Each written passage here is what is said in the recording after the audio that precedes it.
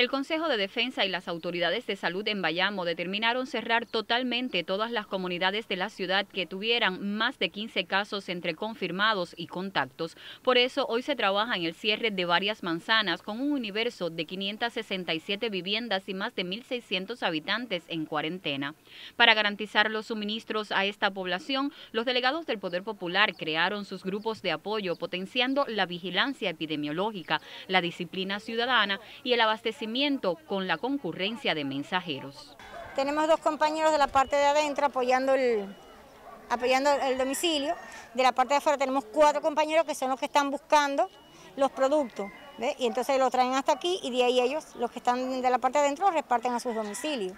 En estas comunidades que permanecen cerradas las 24 horas se hace diariamente la pesquisa de salud. El objetivo es detectar y reportar a tiempo la aparición de cualquier sintomatología para que se puedan aislar los casos en los centros correspondientes.